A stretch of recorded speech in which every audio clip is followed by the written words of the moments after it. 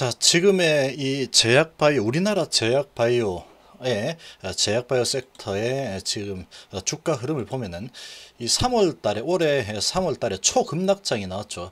어, 전 세계적으로 어, 완전히 이 시장이 무너져 버리는 이, 이 그런 어, 초급락장이 나왔습니다. 자, 이때 이 동학개미들 상당히 유입이 많이 되었죠. 아주 이 우량주부터 해가지고 뭐 어떤 종목을 사더라도 어 3월 달에 아주 가장 어두운 가장 겁나는 그런 분위기에 샀으면 다 수익이죠. 다 수익입니다. 자 이런 분위기가 지금 나타나고 있죠. 특히 제약바이오 쪽에서는 나타나고 있습니다.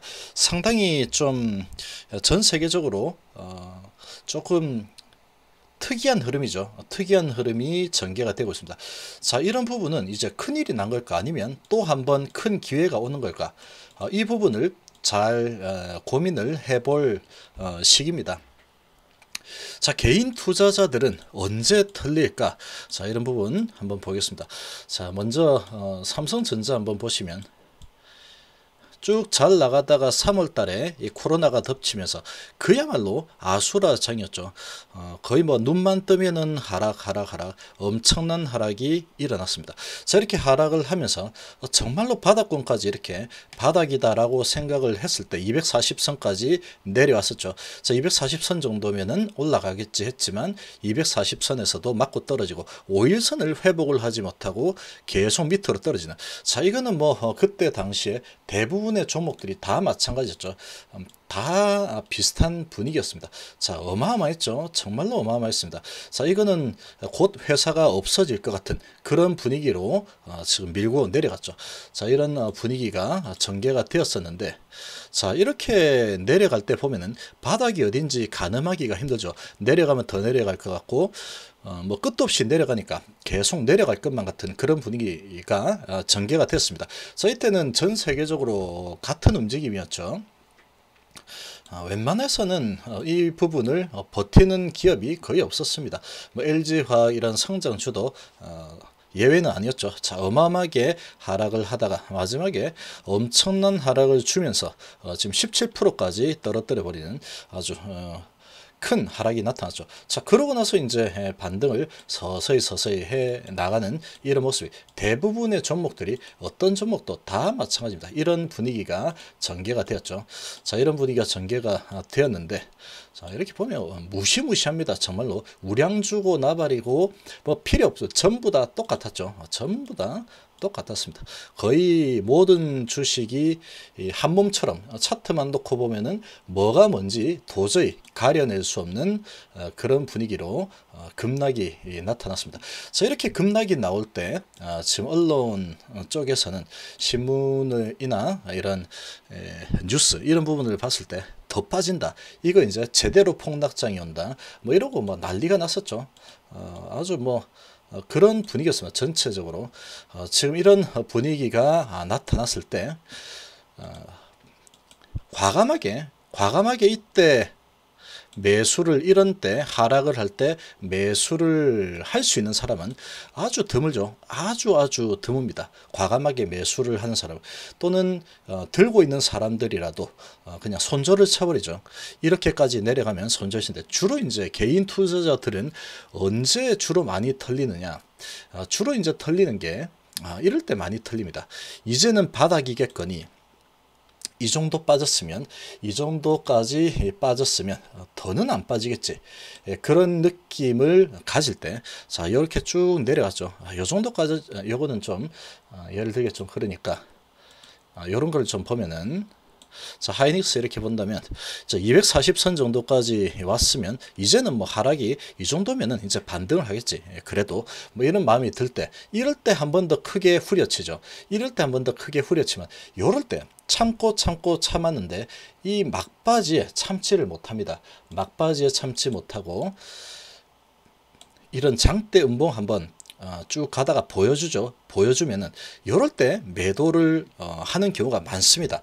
이럴 때 에, 버티고 버티던 개인 투자자들이 겨우겨우 참고 버텨 왔는데 이런 분위기가 아, 딱 발생을 해버리면 참지를 못하죠. 이런 분위기로 쭉 가다가 자 이 정도 참았다 참았다 아, 그래도 뭐 성장주인데 괜찮겠지 하다가 요렇게 이제 17% 정도 이렇게 한번 밀어버렸죠 여기서.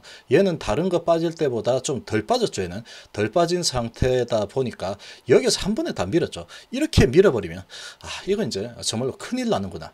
아 이제 주식시장은 다 끝났다. 이제 재앙만이 남았다. 이러면서 이제 매도가 쏟아집니다 이럴 때.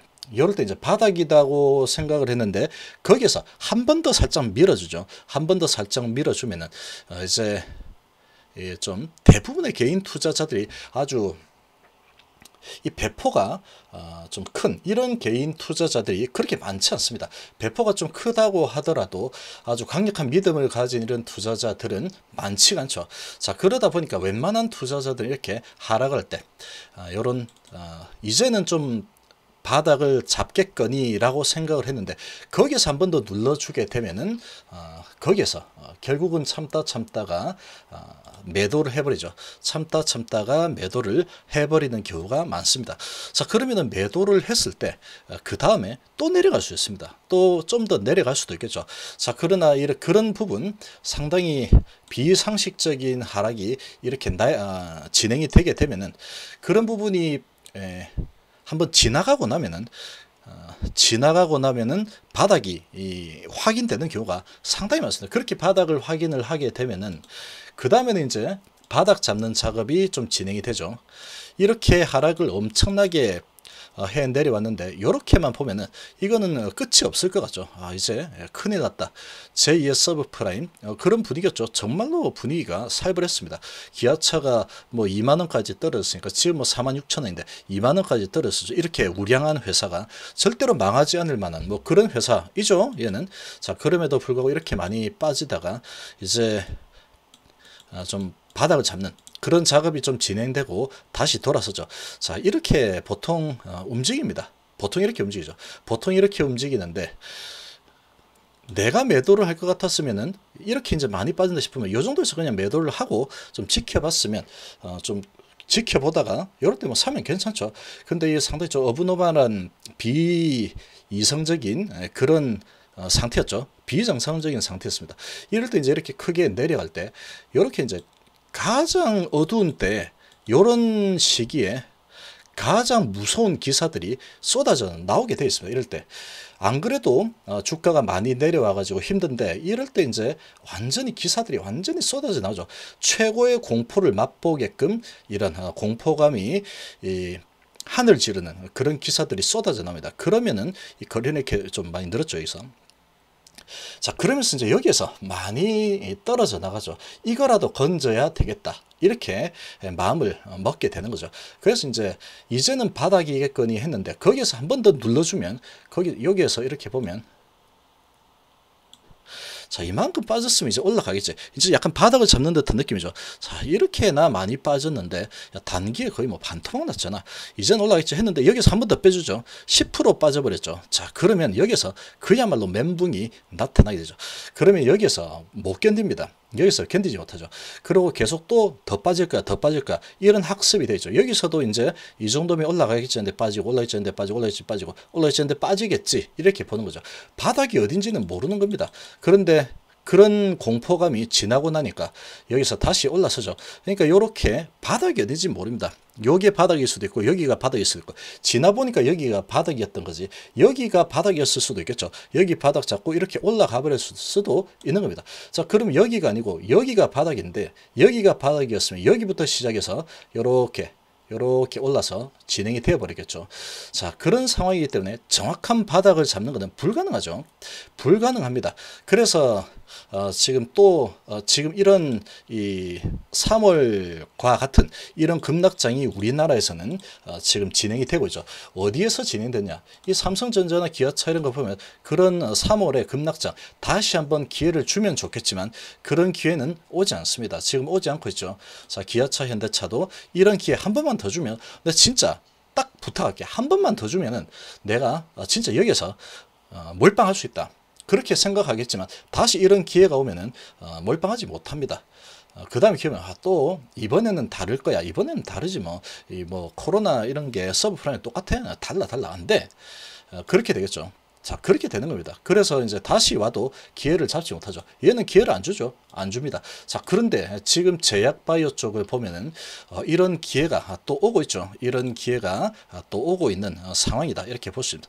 자, 이렇게 기회가 이제 오고 있는데 여기에서 이제 바닥을 잡으려는 이런 어, 마음을 바닥이 어딜까라는 이런 생각을 어, 하는 사람도 있겠지만 어, 그런 생각조차 어, 가지지를 못합니다. 대부분의 개인 투자자들은 이거 이제 빠지면 계속 하염없이 빠진다 이런 부분에 완전히 학습이 되어 있기 때문에 이제 제약바이오 쪽은 계속 빠지기만 빠지는구나 얘는 이제 더 이상 올라가지 못하겠구나 제약바이오는 끝이다 이런 마음이 들지 다시 올라갈 거라고 생각은 하지 못하죠.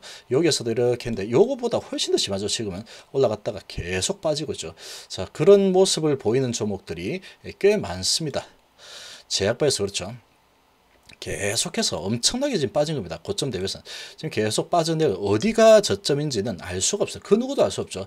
지금 뭐 계속해서 빠져내려와서 어디가 저점인지는 알 수 없습니다.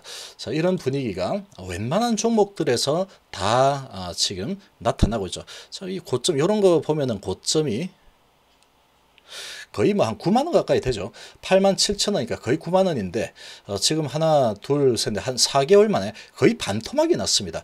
이런 어, 상황까지 전개가 됐는데 이런 회사들 보면은 이 본업이 뭔가 잘못되거나 그런 회사들이 별로 없습니다. 이 제약바이오 쪽 어, 별로 없는 어, 그런 상황이죠. 그럼에도 불구하고 이렇게 많이 빠져내렸죠. 그럼 이렇게 빠져내려오면은 이제는 겁이 나기 시작하죠. 상당히 겁이 많이 에, 나게 되어 있습니다. 겁이 상당히 많이 나죠. 이렇게 많이 빠졌음에도 불구하고 계속 겁이 나고 어디가 바닥인지 알 수조차 없다. 이런 어, 지금 심리적으로 완전히 위축이 되는 겁니다. HB도 마찬가지죠. 어, 지금 계속해서 이제 이렇게 빠지다 보니까 이런 부분에 대해서 다시 또 기회가 오는구나. 이런 생각을 가지는 사람도 있겠지만 믿음이 좀 어, 부족한 이런 사, 어, 사람 또는 대부분의 사람들이 마찬가지입니다. 이제는 겁이 나기 시작하는 거죠. 계속해서 빠지고 빠지고 눈만 뜨면 외인이 팔고 이렇게 전개가 되니까 이제는 겁이 나는 이런 상황이 만들어지는 겁니다. 그러나 항상 이 주가는 두려움의 벽을 타고 올라가는 게 주가죠. 상당한 두려움이 완전히 시장을 뒤덮을 때 그럴 때 두려, 어, 두려움의 벽을 타고 이제 슬슬 올라갈까 하면 한번 눌러주고 올라갈까 하면 눌러주고 이런 식으로 이제 계속 하다가 간을 좀 보는 척 하다가 서서히 올라갑니다. 그런 부분들은 누가 이렇게 어, 바닥을 잡는 이런 부분도 없습니다. 이거는 시장의 분위기가 그렇게 흘러가죠. 보통 그렇게 흘러갑니다. 어떠한 메이저 세력들이 그렇게 바닥을 잡는 작업이 진행이 되는데 주로 이제 외인이나 기관이 보통은 잡죠. 자, 그러고 이제 슬금슬금 올라가는 이런 상황이 되면서 어느새 어, 이런 위치까지 올라가 버리죠. 올라갔다가 바닥을 잡고 올라가는 척 하다가 여기서 또 내리면 막 눌러버리면 야 이거 어, 다시 이제 내려가는 것보다. 어, 상황은 그렇게 좋아지지 않았는데 주가는 왜 올라가지? 이거 이거는 다시 내려올까 이런 마음이 계속 들죠. 그런 마음이 들게 하지만 어, 다시 이제 올라가죠. 이렇게 쭉 올라가서 전보다 더 많이 올라가는 이런 모습이 또 나타난 종목도 있습니다. 이제 뭐 시작하는 종목들도 있고 어, 종목의 특성마다 좀 다르죠. 특성마다 좀 다르지만 이렇게 바닥을 잡고 어, 잡 납니다. 두려움의 벽을 타고 올라가는 겁니다. 예, 지금 그런 기회가 오고 있는 가장 빠르게 지금 올라갔다가 크게 내려가서 정말로 이렇게까지 많이 내려온 섹터는 제약 바이오죠. 그러나 이 제약 바이오가 이제 여건이 여기서 끝이 날 거냐? 그러지는 않습니다. 절대로 그런 일은 없다. 이렇게 보면 됩니다. 제약바이오는 우리나라 제2의 반도체 쪽으로 어, 키우는 그런 부분이죠. 그런 부분에서 어, 지금 문제가 되거나 아, 그거를 바이오는 안 돼 하고 캔슬이 된 그런 상황이 아니죠. 바이오는 성장 산업 쪽이기 때문에 어, 이렇게 주가가 하락을 했더라도 다시 그런 성장성이 부각이 되고 좀 관심이 돌아오게 되면은 다시 보통 올라갑니다. 근데 주로 지금 이 바이오들의 대부분의 종목들 보면은 그야말로 어마어마하게 많이 내려와 있죠. 정말로 많이 내려왔습니다. 정말로 많이 내려왔다가 어, 지금 반등을 먼저 시도하는 종목들도 있고 아니면 어, 아직까지 반등을 하지 못하고 계속 어, 내려가고 있는 그런 종목들도 있고 뭐 그런 상황이죠. 그런데 대부분의 이런 종목들을 보면은 상당히 많이 위축이 돼 있죠. 이런 이 제약 바이오 쪽에서 다시 한번 이 3월 달에 이런 급락장 그런 분위기까지 전개되고 있는 이런 종목들이 예, 많이 좀 눈에 띄고 있습니다. 자, 어디까지 내려갈지는 알 수는 없겠죠. 어디까지 내려갈지는 알 수는 없겠지만, 어, 이런, 어, 상황이면 정말로 많이 내렸죠. 그러면 어느 시점이 되면은 다시 이 반등을 할 가능성이 훨씬 더 높다. 이렇게 볼 수 있는 겁니다. 정말로 많이 하락을 해 내려오게 되면 어느 시점이 되면은 다시 매수세가 들으면서 이 두려움의 벽을 타고 다시 방향을 위로 틀고 올라가는 경우가 거의 대부분이다. 이렇게 보면 되죠. 이게 사양 산업이 아닙니다. 제약바에는 그런 상황이죠. 사양 산업이 아니고 성장 산업이기 때문에 더더욱 그렇게 진행이 될 거다라고 볼 수 있는 거죠. 지금 뭐 양도세 이런 부분 때문에 이렇게 같이 좀 밀려내리는 투심이 많이 억제가 되어 있지만 이런 어, 분위기는 지난 3월 달에 엄청난 하락이 나타났던 이런 종목들과 어, 종목들의 상황과 아주 뭐 유사합니다. 이 정도까지는 지금은 아니지만 지금 하락폭을 보면은 어, 이 정도까지 이런 수준까지 하락이 어, 실제로 나타난 제약바이오 종목들이 꽤나 많습니다. 꽤 많습니다. 꽤 어, 지금 차트상으로 보면은 뭐 그렇게 안 보일 수도 있겠지만 어, 지금 이 고점 대비해서 내려온 폭을 보면은 거의 한 40% 50%까지 내려간 이런 종목들도 상당히 많죠. 반토막이면 50%인데 어, 이때 3월 달에 내려간 것도 보면 반토막까지는 내려가지 않았습니다. 삼성전자 어, 6만 원에서 4만 원이니까 뭐 반토막까지는 아니죠. 6만에서 4만 원까지 내려갔지만 어마어마하게 많이 내려가죠. 어, 그러고 이렇게 반등을 했는데 뭐 기아차 같은 이런 종목들은 뭐 4만 원에서 2만 원 정도가 거의 반토막이죠. 그러니까 이 정도 수준까지 내려온 종목들이 꽤 많습니다. 제약바에. 그러면 다음 이 파동은 어떻게, 돼, 어떻게 될 거냐. 정확하게 바닥을 잡아내는 것은 불가능합니다.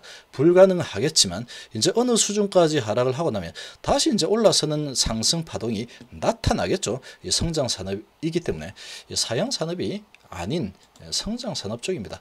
자, 지금 어, 그런 부분이기 때문에 바닥이 어딘지 이렇게 계속 잡으려고 하기보다는 이제 3월 달에 어땠느냐. 저런 기회가 다시 한번 오면 나는 정말로 요런 시기에 내가 잡을 수 있다. 이렇게 장담하고 있겠지만 막상 그렇게 진행되고 있는 종목들을 보면 그런 용기는 다 사라지죠. 지나고 나서 이런 답안지를 다 보고 나면은 당연히 사지 이때 이때 집 팔고 논 팔아서 다살 거야 라고 하겠지만 막상 이렇게 현실에 닥치게 되면은 아, 쉽지 않습니다. 절대 쉽지 않죠. 이게 어디까지 빠르지 못다. 이 바닥이 더 내릴까, 더 내릴까. 계속 더 내려오겠지, 더 내리죠. 계속 안티하면서 더 내려오겠지, 내려오겠지. 하지만 그런 두려움의 벽을 타고 어느새 이렇게 올라가는 거죠. 지금의 제약바의 위치가 그 정도까지 많이 내려와 있는 어, 그런 어, 위치다라고 어, 좀볼 수 있겠습니다. 자, 결국은 이제 이런 하락 파동이 마무리되면 다시 상승 파동은 아주 강력하게 나타날 겁니다. 언제 이런 하락 파동이 마무리될지 이게 관건이지만 결국 이제 여기서 더 내려가거나 더 올라가거나 크게 의미를 둘 필요가 없다 이렇게 보면 되죠. 결국은 큰 반등이 한 번은 또다시 나타날 가능성이 상당히 높다라고 볼 수 있겠습니다. 그 시기가 언제가 될지 모르는 게 좀 문제지만 어, 지금 이렇게 지나고 보면은 아 요때가 바닥이었구나 하는 그런 상황이 만들어질 거다라고 생각을 합니다. 자 이번 시간 정도로 마무리하겠습니다. 감사합니다.